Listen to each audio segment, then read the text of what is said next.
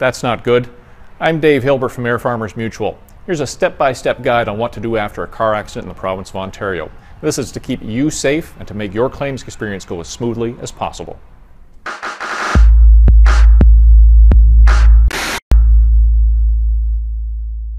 First thing, remain calm and stay safe. Check for injuries. Do not move an injured person, as this could make their injuries worse.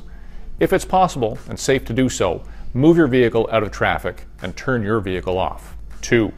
Call police if the damage appears to be over $2,000 or if there are injuries.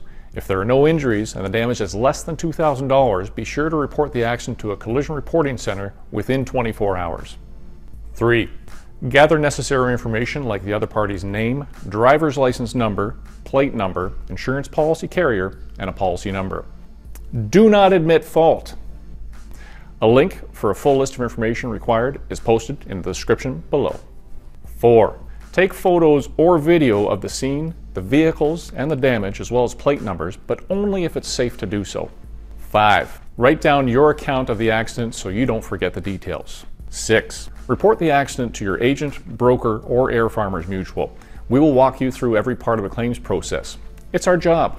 Our claims department number is 1 800 265 8792 and choose option 1.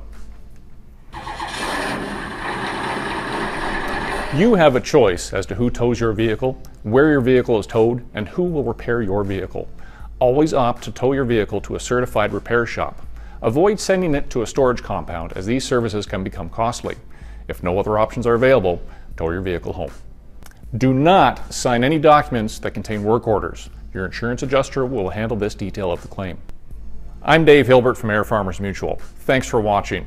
Make sure you subscribe to our channel to keep up to date with more videos like these.